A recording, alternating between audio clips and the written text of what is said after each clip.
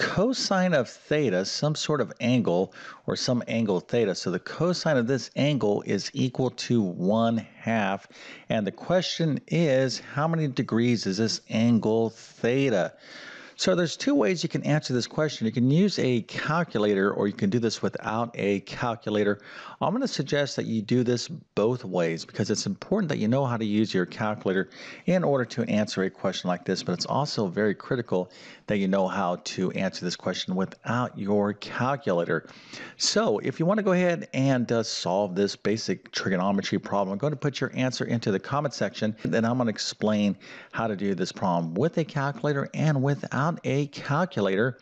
And uh, just so you uh, know, you know, we are talking about trigonometry, and a lot of you, you know, you might be asking, "Hey, when do I take trigonometry in school?" Well, typically, just as you, just so you know, uh, most basic trigonometry you start learning in high school level geometry. Now, this is typical. It all depends on what you know uh, course you're at, or if you're taking a college level course. But this is, uh, uh, for the most part, how most students kind of are introduced to trigonometry, and then later on, for the most part in high school, you study trigonometry as part of a course like, say, pre-calculus or advanced algebra. It used to be way back in the good old days, they used to have like a full semester trigonometry course. But uh, irrespective of when you're learning basic trigonometry, um, you need to know how to answer a question like this. So we're going to get into all of this in just one second. But uh, before we get started, let me quickly introduce myself. My name is John, and I have been teaching middle and high school math for decades. And if you need help learning math, well, check out my math help program at tcmathacademy.com. You can find a link to that in the description below. And if this video helps you out, or if you just enjoy this content, make sure to like and subscribe, as that definitely helps me out. Okay, so let's go ahead and get into this right now. And the first thing we're going to do is just kind of review some real, real basic trigonometry fundamentals. And when you start learning trigonometry, you start learning about something called trigonometric ratios. That's these little things right here, sine, cosine, and tangent. If you look on your calculator, if you happen to have a scientific calculator, you'll see these buttons there. This SIN, uh, COS, TAN, this is sine. This is cosine, this is tangent. There's other trigonometric functions, or, um, but we uh, um, refer to these as trigonometric ratios, okay? Now, what is a ratio? Well, a ratio is effectively a fraction. You'll see uh, why that's the case here in just one second. But what we're talking about really here is something called right angle trigonometry. So, in order to really understand right angle trigonometry, you, need to master this phrase that's probably been around for maybe like a hundred years. Probably some of your grandparents or great great great grandparents know knew a phrase like this, but here is the phrase you want to know. So, ka toa. SOHCAHTOA. See, I almost mispronounced it. SOHCAHTOA. So anytime you're thinking about basic trigonometry, just remember this phrase and you'll um, kind of uh, help yourself stay on track about the definition of what these uh, trigonometric functions are. Okay, so the so, we're talking about sine, the ka, we're talking about cosine, and the to here, we're talking about tangent. All right, so here's the way this uh, SOHCAHTOA works. Basically, you just want to construct a nice, lovely little right triangle. Okay, when you learn this. So here is a triangle, and this is a right triangle. We're not talking about any run of the mill triangle like this. We're specifically talking about a right triangle, 90 degree angle right here in one of the corners. So let's uh, suppose we have some angle right here, theta, right in this corner here. What we want to do is kind of label the respective sides of this right triangle. Okay, so the longest side of any right triangle is called the hypotenuse. Okay, we'll put an H there to represent the hypotenuse, and it's always going to be opposite the uh, right angle. Okay, so the opposite side of that right angle is the hypotenuse. But just visually, you just look at this triangle. We're like, hey, which one is the longest side? It's this one here. That's going to be our H or the hypotenuse.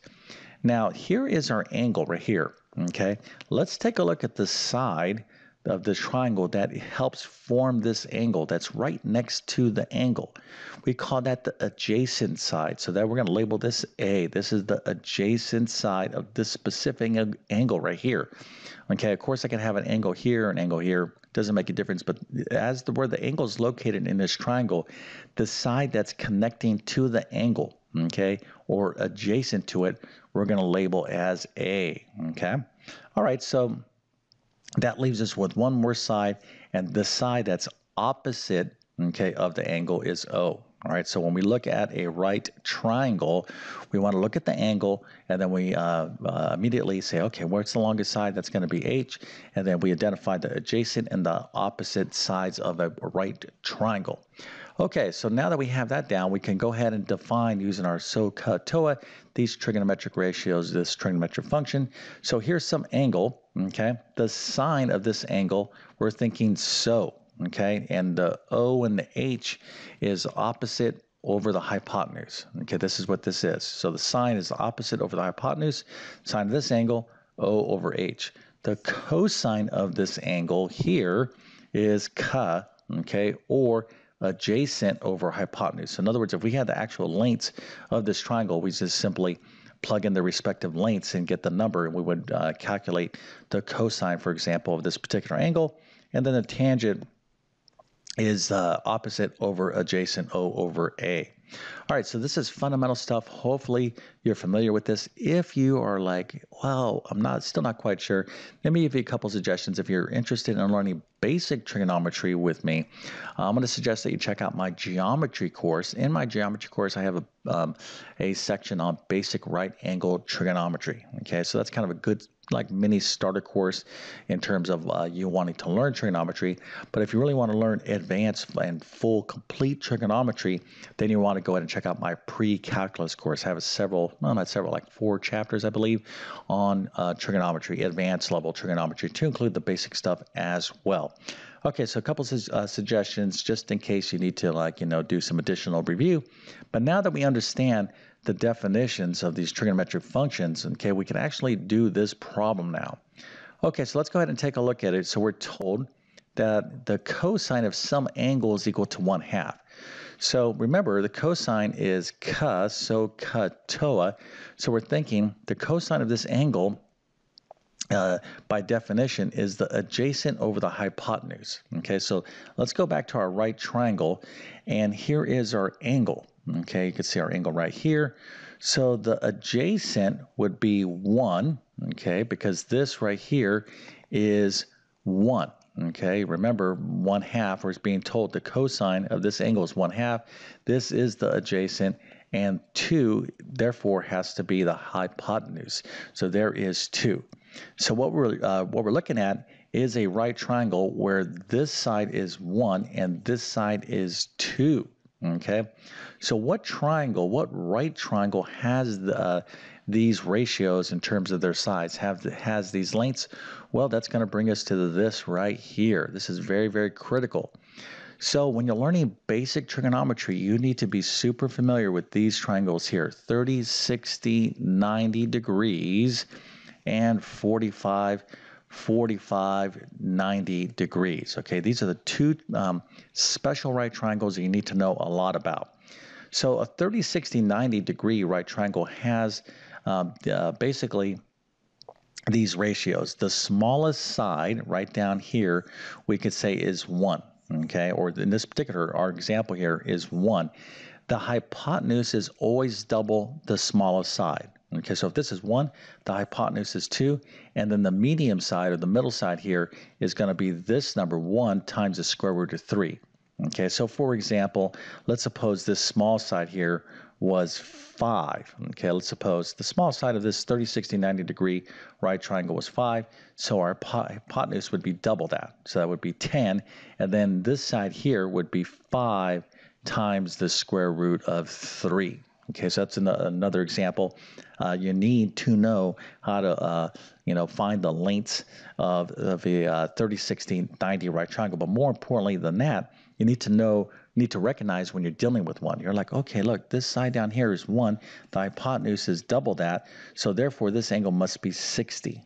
Okay, so again, uh, when you draw out these triangles, don't confuse where the 30 degrees at and where the 60 degrees at. If this is 1 and this is 2, right, try to draw this out like so. Don't draw your try to draw your your triangle to scale because you can see here that this angle looks bigger than this angle. So this is where the 60 goes and this is where the 30 goes. Of course, this is 90. Okay. All right. So uh, just based upon this, you're like, oh, this is one, that's two. So the cosine of one of this angle is one half or one over two, the adjacent over the hypotenuse. Well, therefore, uh, it is equal to 60 degrees. So that's how we answer the question without using a calculator. Now, if you want to use a calculator, you need to know how to do that as well. And what you need to do is use the second function uh, for your cosine button. Okay, so uh, on your calculator, if you have a uh, scientific calculator or a um, graphing calculator, if you go in and you hit that second function, you'll see something on your calculator that looks like this cosine negative one.